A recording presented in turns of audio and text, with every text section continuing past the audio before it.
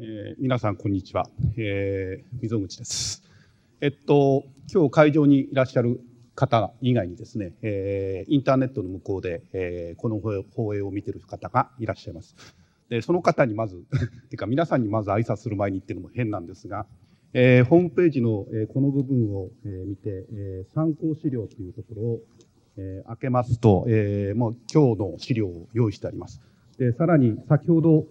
えー、他の先生方の発表を聞きながら、えー、今日のこれからのスライドもここに載せてありますので、えー、これとユーストリームを両方見ながら、えー、私の話を聞いていただけると、あの、参考になるかと思います。えー、それで私の今日の話ですけれども、飯舘村の水田における農業土木的、えー、土壌除染の試みということで、また試みです。えー、試みということは、えー、まあ、やってるだけで、えー、学問的にまだ深いことは分かってませんけども、とにかく試してるっていう、その報告をしたいと思います。で、皆さんもすで、にご存知の方がほとんどだと思うんですが、えー、国の除染法っていうのは、農地除染法については3つの方法が、えー、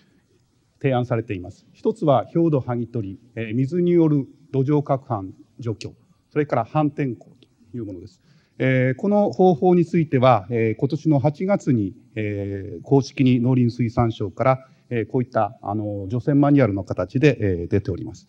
で現在飯舘村では、えー、この方法に、えー、基づいよって、えー、大掛かりな、えー、除染活動が行われているわけですけれども、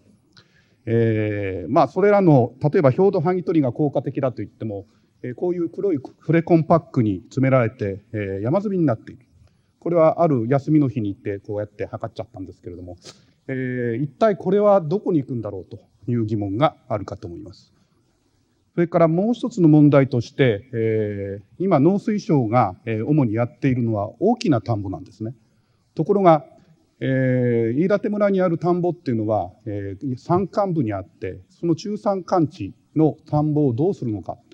そこについてはあまり、えー、まあ、考慮といってはなんですけどもあんまり、えー、かあの対象としてない部分がちょっと見られます。で、えー、そういう中山間地ですけれども、えー、なぜかそういう田んぼのが、えー、見事に、えー、こういうふうにですね耕されてる一体誰だというとこいつがイノシシなんです。イノシシがですね鼻でもってぐにょぐにょぐにょっといって、まあ綺麗に田んぼをこう耕しちゃってる。そうすると一体こういう田んぼでどうやって除染するんだっていう具体的な問題がこう出てくるわけです。で今日私の発表はですね、え東京大学これは前回の第3回の時にもお話しましたけども東京大学の農学生命科学研究科の溝口ですけれども、えもう一つですね福島再生の会という、えボランティア組織最近 NPO 法人になりましたけどそこに私のグループがですね、え団体加入しましてで一緒に、えー、いろいろ試しているとでその報告を、えー、ここでさせていただきます。でこの会というのはですね大体今日も、えー、土曜日ですから、えー、皆さんその現地に集まってこんな感じで、えー、土曜日のお昼一緒に食べながらですねあのどういう作業をやろうかという、えー、作戦会議をやってでそれに基づいて、えー、いろんなことを、えー、試しています。でその試した、えー、去年の話ですけども例えば真冬に、えーまあ、話し合ってやってる時にそうだ糖度を剥ぎ取ればいいじゃないかと言って糖度をパカッとチョコレートみたいな糖度を剥ぎ取ると、えー、除染が簡単にできるっていうような方法も、えー、この話し合いの中から出てきた方法です。ものです。で、えー、その時にですね去年、えー、じゃあ埋めちゃえばいいと。取った糖度は埋めちゃおうと。でこういうシートに、えー、くるんで埋めればいいんだと。埋めれば、えー、土そのものがきれいな土そのものが、えー、放射線を遮蔽してくれるからその方法でやろうという実験も、えー、昨年の冬にやっています。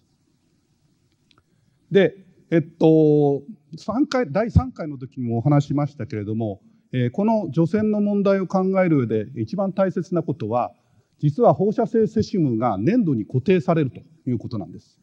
で粘土に固定されるっていうことはどういうことなのかというと実は粘土表粘土表面これはあの、まあ、特に粘土鉱物の表面っていうのは、えー、特にこの飯舘村に、えー、広く分布している雲母類の表面を、えー、科学的に見ると穴穴ぼこが開いているその穴ぼこにセシウムがポコポコと落とし穴のように落とし込んででそれでなかなか抜けなくなっている今どんどんこの、えー、過程がプロセスが進んでいるわけです。で先ほど根本先生の話の中で、えー、去年よりも今年の方があの稲の方に移行してないっていうのも私が考えるにこの、えー、プロセスが進んでるからだというふうに、えー、思っています。で、えー、さらには、えー、第1回の報告会の時にありましたけども水田ののこれは、えー、っと塩沢先生のデータですけれどもほとんど表面の5センチのところにセシウムが集中して蓄積されているというデータがありますけれども、えー、いずれにしましても、えー、粘土に一度くっついてしまえば、え除染を考える上にこの粘土粒子とセシウムっていうのを一緒に考えればいいし粘土の移動に注意してやればいいし除染の場合には粘土の除去を考えればいいと下手にその穴ぼこに収まったこれを取る必要なんていうのは全くないわけです。ということで、えー、この最近、え、我々が、え、やっている2つの項目について、え、ここでお話ししたいと思います。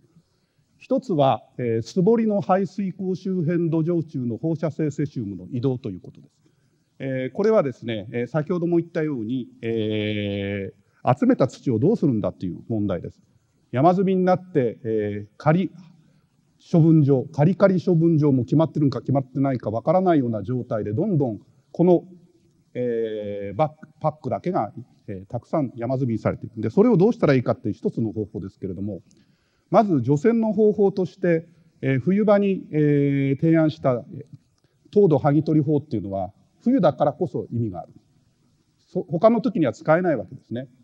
ところがえー、春先にですね、えっと、福島福島再生の会でこういう田車というです、えー、田車という、えー、除草機を持ち出しまして表面の土を攪拌しそれを、テニスコートのブラシで吐き出して、えー、みんなでこうやってよいしょよいしょとやって、えー、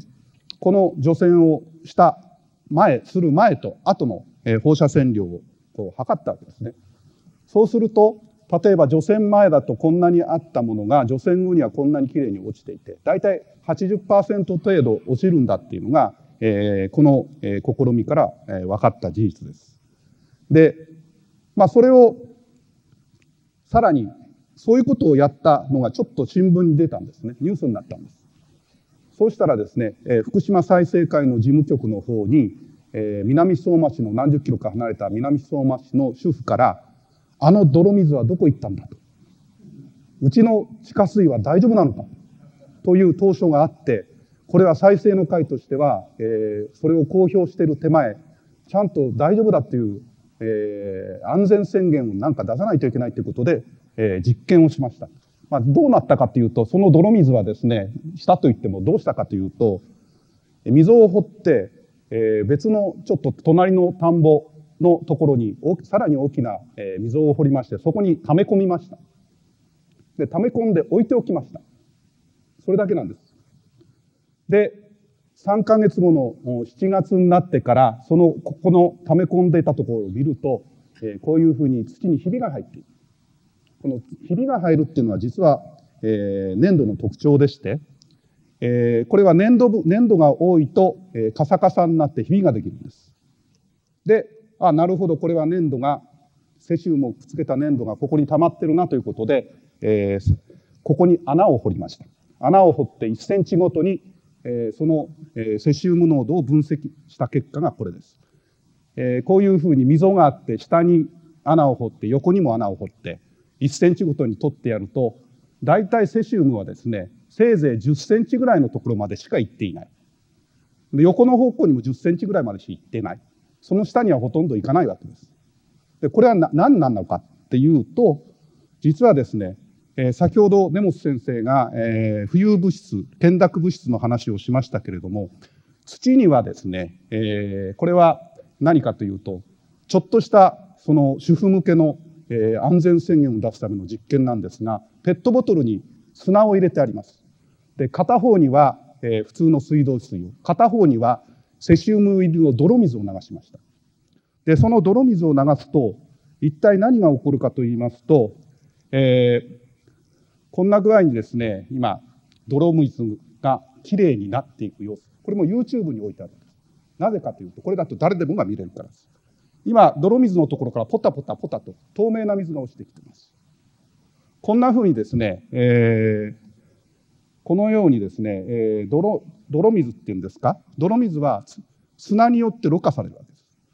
で砂によってろ過されるんですけどもさらに言えば普通の土はもっと砂よりも細かいですからもっときれいにろ過されていくでこれが実は先ほど、えー、この実験データでほとんどがろ過ろ過機能によってここに引っかかった理由なんです。でつまりここから何が言えるのかというと去年の冬場には分からなかった心配だからここにベントナイトシートって言って漏れないシートを敷いてそこに糖度をセシウム入りの糖度を入れたんですが実はそんなこともする必要がなくて単に汚染土は素りの穴に埋めればよいということがこのろ過機能の、えー、実験から、えー、予想できることです。でもちろんこれは、えー、と私はほぼ間違いないと確信してますけどまだ心配性の人がいるので、えー、さらに、えー、今、えー、いろんな計算機を使ってそう起こらそういうことが起こらないんだということを、えー、研究しているところです。2つ目の話題です。2つ目の話題は水田淡水による放射線遮蔽効果に関するものです。でこれはえっと、農学生命科研究科の中で、えー、私どものグループが別途作っている農業工学復興会議という、えー、まあ人々との人たちとの、えー、実験結果です。で原理はどうかというとこれはあの復興会議の、えー、リーダーの、久保先生が、提案しているものなんですが、えー、水田にたった20センチでもいいから水を張るそうするとどうなるかというとここから出てきてる放射線は上に行くとたった20センチのところしか通過しないんだけれども斜めに行けば、えー、長い距離水の中を通ることになります。でそうすると普通水田の人が歩いたりこう活動するのは水田のへりですから、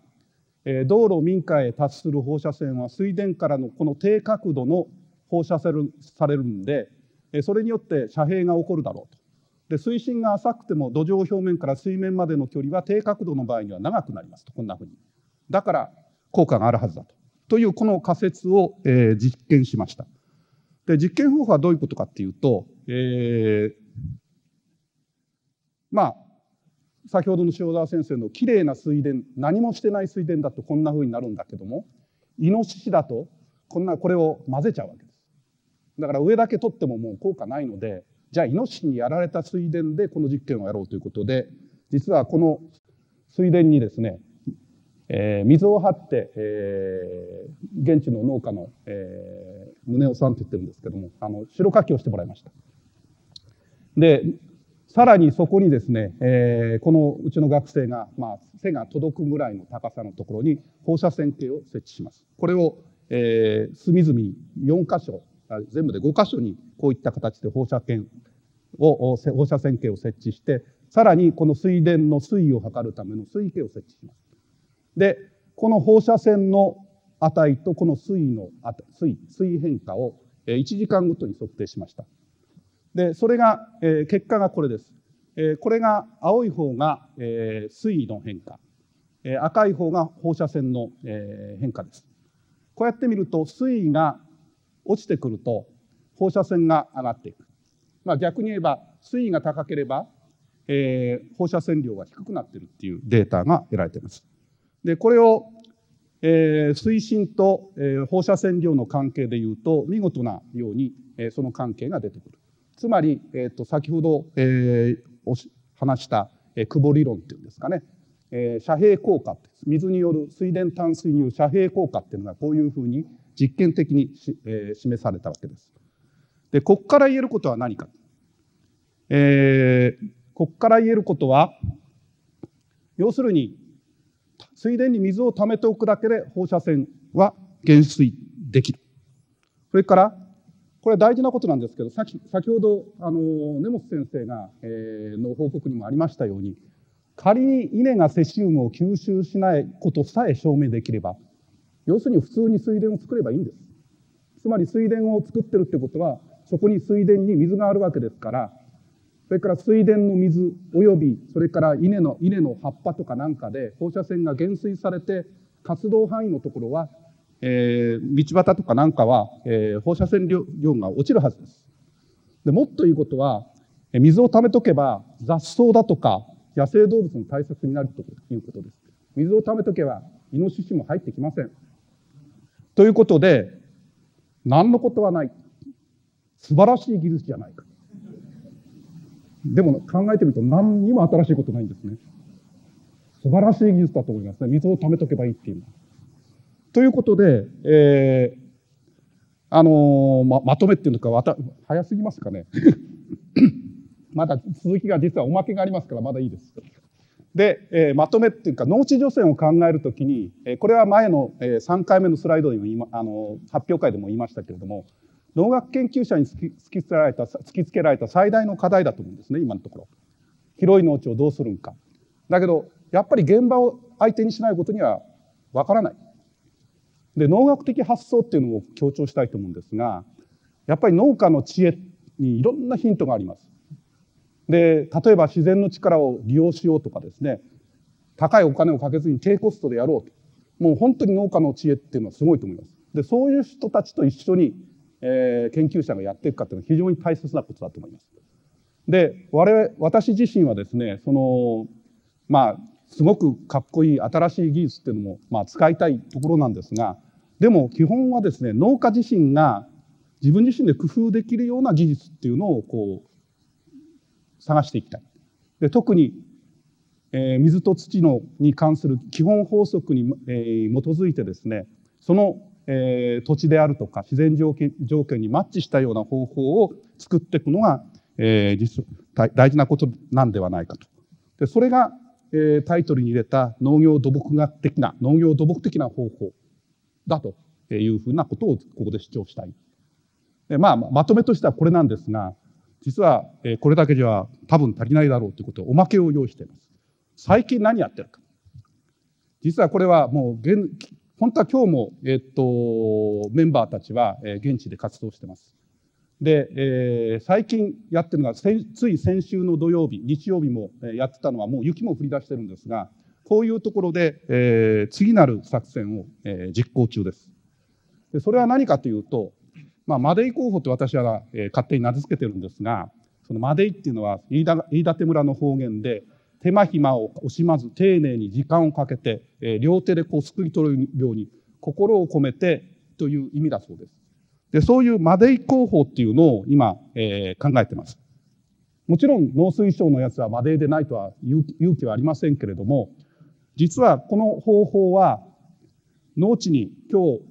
お話しした最初のやり方っていうのは農地に穴を掘ってあごめんなさい今考えてる方法っていうのは農地に穴を掘っては、えー、剥ぎ取った汚染表土をそこに埋めちゃおうと。で考えてみるとこれは、えー、農水省の言っている表土剥ぎ取りと反転校の組み合わせになるわけですね。反転校っていうのは大きなトラクターにこう、え、機械をやってぐわーっていっぺんに、え、上下入れ替えちゃうもんなんですがゆっくりと穴を掘ってそこに埋めましょうという方法です。で、まあ、そういう意味で反転校よりはですね丁寧に上下の土を入れ替えようということでマディっていう言葉がぴったりだと私は思ってる。で、そのやり方もいろいろもうあの編み出してるんですけど、これはもうめんどくさいんで飛ばしますが、えー、まあこの際に、えー、先週も仕事をしてました。で、ここにあるのがですね、これもやっぱり、えー、農家の知恵なんですね。汚染土を入れた時にそれをどうやって固めるかっていうのは棒でもってこうやってみんなでよいと負けと土を固めるんです。でこれ歌いながらやんないと辛いんですがなぜかあの、えー、老人と若者と一緒になって共通にで、えー、出てくる歌は「もしもし亀よ亀さんよ」でした。えー、なんかそれが一番あのこうタイミング的にはいいみたいででいずれにしろこうやってですね汚染土を、え、固めながら埋めていく。で、えー、もう一つ面白いのはここに暗渠ってこれも、えー、古い、えー、農業の農業土木の知恵なんですが暗渠を入れて藁で持って、えここに置いて土をかぶせるそうすると上から来た水は、えこの藁のところを通ってこの素焼き素焼きの管なんですけどもそこを通って水が、えここから出てくるわけです。そうしますと先ほど入れた、えー、汚染土のところに直接水が入ることなく、えー、きれいなきれいなっていうか汚染されてない水はここを通って出てきますから、えー、まあ南相馬市の主婦が心配しているようなですね、えー、固められた、えー、この汚染土が水にあまり触れることなく、えー、ここに、えー、封入されっぱなしになるとだろうと考えています。でさらにじゃあ念のためにということでそういう工事をしてるわけですけれどもここの真ん中とその下に、えー、放射線計を入れてます。でこれをえー、じじっとその、えー、じっとっていうかずっと今継続的にモニタリングして本当にこの影響がないのかどうかっていうのをチェックしてます。でまあこれを、えー、少なくとも何年もまあチェックして、えー、30年チェックしてもせいぜい2分の1にしか落ちないんですけれどもでも、えー、何か問題があればどっかに引っかかるはずで、えー、それで、えー、ある程度大丈夫だということを確認した上で、えー、この方法をもう少し、えー、展開できたらというようなことを考えています。で、えー、これそろそろ終わりです。で、えっと、この仕事っていうのは、えー、まあ、飯舘村の農業委員会の、まあ、特に、えー、そこの、えー、農地を提供してくださっている菅野宗男さんのおかげもあるし、それから一緒に働いて、一緒にこう活動してくださっている、えー、福島再生会のメンバーの仕事で、えー、もあります。それから東京大学の福島復興農業工学会議っていう、えー、農学生命科学研究科内の、えー、グループ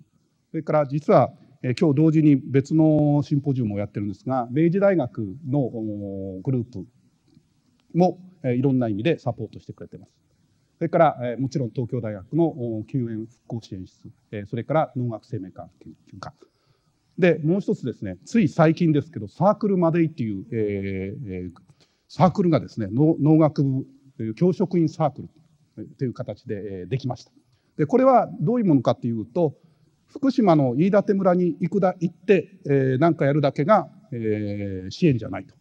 自分たちで東京にいながらにしてできる支援を何かっていうのを探そうじゃないかということで、え、ついこの23週間前にできできたサークルです。まあ、いずれにしましても、え、こういった形で、え、老若男女え地域組織を超えて、え共に働いているっていうこのこれを続けていくことが、えある意味本当の意味でのですね、え復興支援につながっていくんではないかと思います。ぜひあのこの会場の皆様の中でも、えこのサークルに関心のある方あるいはその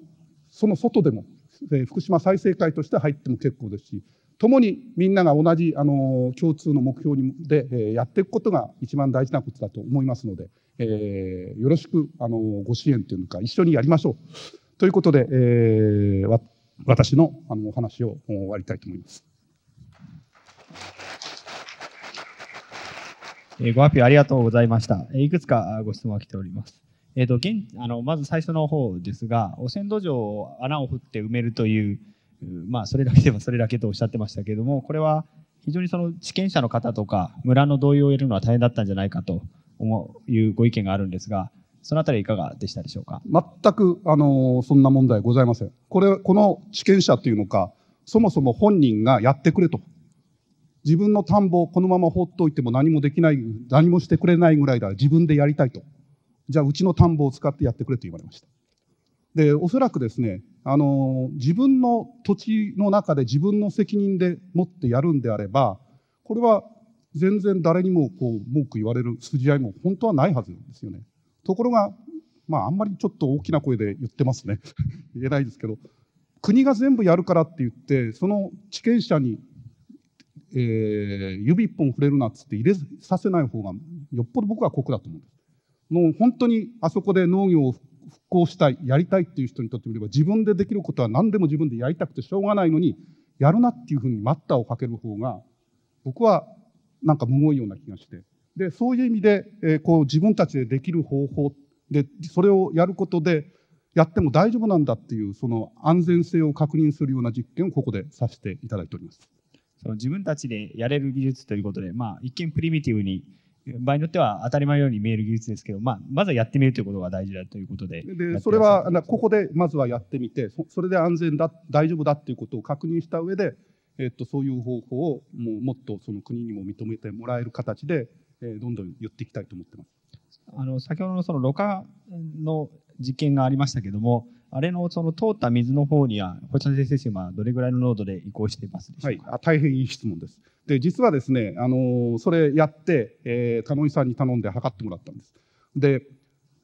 現時点ではほんのちょっとだけ検出されてます。でそれはなぜかというと3回ほどですねこういうふうな、えー、ところに、えー、入れてコップに3回こうやったんですね。でその3回分とも全部いっぺんに取って測ってしまったんです。で原理的には1回目の時には、えー、っと砂の目は粗いので1回目に出てきてるはずです。ですからそれは実験としてですね1回目2回目3回目と分けて分析すべきだと思って実は明日また行ってやろうかなと と考えてるところででも原理的にはですねさっき言いましたように景気ろ過って言いまして上に溜まった泥がさらに細かいもんですからそこでろ過されていくんでおそらくあの最初だけの問題です。ですから実際の現場では砂ではなくて、えー、っと普通の土ですからもっと効果は上がるはずです。でそれは実験的にももうちょっとあの突っ込む予定です。はい、あの遮蔽効果の方なんですけれども水を張ることによってあのセシウムはポケットに入るああいう土壌物理学的なことは何か影響を受けたりはするんでしょうか、えっと、むしろあの水を張って白かきをすることが僕は大事だと思ってます。特にイノシシでやられてしまった、えっと、田んぼっていうのはもともともう表面の5センチなんてどこだか分かんなくなってるわけですから水を張って何度も何度も白かきをしてその粘土と、えー、セシウムの接触確率を増やしてやる。やればやるほど僕は、ね、あの粘土の表面の穴ぼこにですねセシウムがくっついていくのでやればやるほど早く、あの自由なセシウムっていうのをなくすことができると考えてます。そのろ過機能で、えー、粘土粒子が非常にキャッチできるという話なんですが一方で粘土粒子は乾燥するとひびが入るということがあってで先ほどの稲の話などもその稲がそのひびが入ることによってそこからろ過機能を通らずに稲が吸収するリスクというのがあるような気もするんですえっと、それは心配ないです。っていうのは、ね、粘土がひびが入るのはその粘土粒子上から来た粘土粒子が乾いたことによるひびであってもともとあった下のところまでひびが入るわけではないんです。でむしろもともとあった土のところにはあのさっきも言いましたけど景気ろ過みたいに先に薄い膜ができますからそこでそこのところに大きなひびが入ることは多分ないと思います。でまあ自虐自虐ネタで申し訳ないんですけども皆さんのシャワーとかなんか浴びるときにあのフィルターがございますよね。で普通にシャワーを浴びてると普通はダーッと水が流れますけど私のように抜け毛の多いやつはですねいつの間にかあそこにこう髪の毛が溜まっていてそのうち水が溜まっていくああいうことが土の中で起こるあすいませんなんかということで、あのそういうふうな景気ろ過の効果がありますからおそらく、えっと、ひびが入るといってもごく表面っていうかその粘土粘土分だけが溜まったところだけだと思います。なるほど あの最後にその、えーと、水田の下の土壌はきれいで上の土壌が汚染されていると反転校のような形で大幅に入れ替えて作付けするとか、まあ、そのような試みっていうのはされる予定はありますでしょうか？えっと、反転校そのものは、だから、えまあ、簡単にできるということで、え、農水省の中でも推奨されてるんですけれども、え、反転校をやることによって、作土層、本来その有機物とかですね、あのさっき真鍋先生があの、え、有機物肥料の話をしてましたけども、作物ができるっていうのは有機物があるから、えー、であってそれをむやみやたらと反転させ全部反転してしまうとまた一から作らないといけないんですね。だから本当はできるだけ薄い汚れてるところだけを埋め込むのがいいんだけれどもあの反転工ではそれは不可能でそれでマデイというマデイ候補というマデイ反転工みたいなことを考えていく必要があるんじゃないかなと思ってるわけです。それで今日ご興味ある方はぜひ先生にアクセスしていただければ一緒にやっていきましょうという今日の趣旨でございますね。はい、はい、先生ありがとうございました。どうもありがとうございました。